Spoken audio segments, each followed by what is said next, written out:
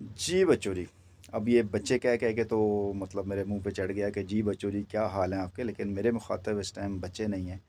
मेरा मुखातब हर वो पाकिस्तानी है जो अपने आप को पाकिस्तानी कहता है, पाकिस्तान के अंदर रहता है। उसकी कोई जायदादें बाहर नहीं हैं। उसके अबावजदाद पाकिस्तान में रहे, इसी मट्टी में पले, भड़े और इसी मट्टी में वो मुस्तबिल में हो सकता है, इसी मट्टी में दफन हो। इसी मट्टी से ही उनका रिस्क जुड़ा हुआ है।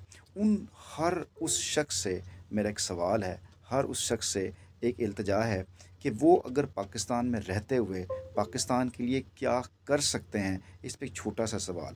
क्या पाकिस्तान की बका के लिए जो निज़ाम है, क्या वो इस्लामी निज़ाम होना चाहिए? क्या वो कम्युनिज़म का निज़ाम होना चाहिए? या कोई एक ऐसा निज़ाम जिसे कैपिटलिज़म कहते हैं या अमेरिका का निज़ाम? चले, किसका निज़ाम आप चाहते हैं? और अगर आप अपने दिल से पूछिए कि नहीं, चलें, हमें मुल्क में इस्लामी निज़ाम चाहिए तो फिर एक लम्हे के लिए रुकिए। और अपने दिल पे हाथ रख के पूछिए कि क्या वाकई हमें इस्लामी निज़ाम चाहिए? और आपको इस्लामी निज़ाम की बरक़ात और फ्यूज़ और उसकी जो सारी जो बरकतें उनके बारे में अच्छी तरह से जानते हैं हम और आपको पता है इस्लामी निज़ाम होता क्या है और इस किस अंदाज से इम्प्लीमेंट होता है? और उसकी क्या मबादियात हैं, क्या फ़ंडामेंटल्स हैं, क्या आप जानते हैं? और असल में प्रॉब्लम ये है और इसी बुनियाद के ऊपर अगर आप थोड़ा सा हुकूमत पाक अपने पाकिस्तान में सिर्फ़ कंसेंसस करवा लें। एक हल्का सा आप ज़रा राय ले लें, वैसे ही उठते बैठते इनफॉर्मल सी राय लें।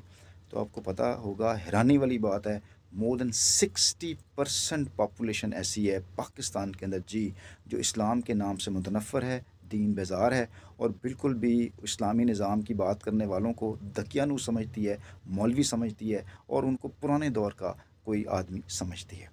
पहली बात। दूसरी बात ये कि चलें, हम समझते नहीं, ये मेरी बात गलत है। पाकिस्तान इस्लाम के नाम पे मर मिटता है और हर पाकिस्तानी इस्लाम का दिल, उसका मतलब मक्का के अंदर जो भी है, मदीना में है, मदीना रियासत में है, अपने सब दीन के लिए वो जान कुर्बान करने तैयार ठीक है, मैं एक लम्हे के लिए मान लेता हूँ।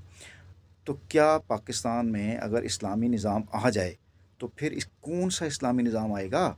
शिया का आएगा, सुन्नी का आएगा, देवबंदी का आएगा, बरेलवी का आएगा, चिश्तियों का आएगा सोरवर्दी का आएगा किस ब्रांड की बात करते हो भाई? कौन सा ब्रांड आएगा?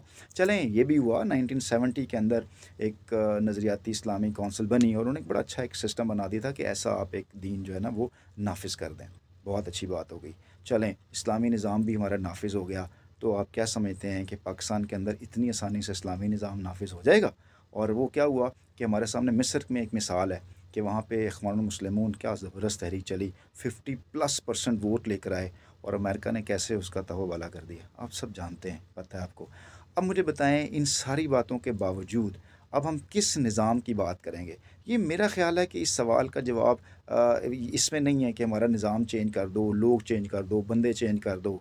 मेरा ख्याल है इसमें मुझे चेंज होना है, आपको चेंज होना है। कोई एक ऐसा निज़ाम, कोई ऐसा सिस्टम, कोई ऐसी तहरीक ज़रूर चलनी चाहिए कि जिसके नतीजे में हम एक बात पे तो मुतफ़ हो जाएँ कि यार ये काम करना चाहिए। लगता है हम सिर्फ़ बातें करते हैं, काम को नहीं करते। तो कुछ काम करने के लिए करें और देखें, एक और बड़ी बात आपको कहूँ, अगर आप अल्लाह के निज़ाम को मानने वाले हैं तो यकीन जाने अल्लाह कहता है कि आप सूद छोड़ दें और जो सूद खाता है, सूद का बंदोबस्त, सूद का कारोबार करता है, वो अल्लाह और रसूल से जंग करता है।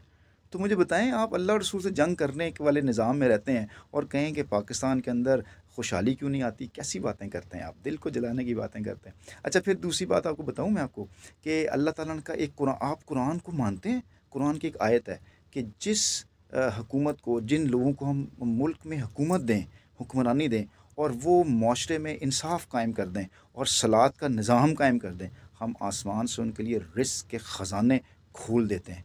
तो इसका मतलब क्या हुआ कि हमारे में कहीं ना कहीं सिस्टम के अंदर कहीं ना कोई गड़बड़ ज़रूर है। इसको सिर्फ़ बातों की हद तक ना लीजिएगा प्लीज़ इस पर कुछ करिए, कुछ उठिए, कुछ करके दिखाएँ, कुछ सिस्टम बनाइए, कोई बात करें, कोई तहरीक चलाएँ ऐसे कि उसको, वो वो खा गया, वो खा गया, मैं खा गया, उसने कर दिया, वैसे कर दिया, ऐसा ना करें। आइए मिलें, कोई इतफाक़ की बात करें, कोई थात की बात करें, कुछ जुड़ जाने की बात करें। लीडर्स लोगों को जोड़ते हैं। अल्लाह वाले लोगों को जोड़ते हैं, काटते नहीं हैं। आप प्लीज़ इस पीटीआई से बाहर निकलिए, नून लीग से बाहर निकलिए, पाकिस्तानी बनिए, पाकिस्तान के लिए सोचिए, पाकिस्तान के लिए कोई निज़ाम बनाने की बात कीजिए। जजाकल्ला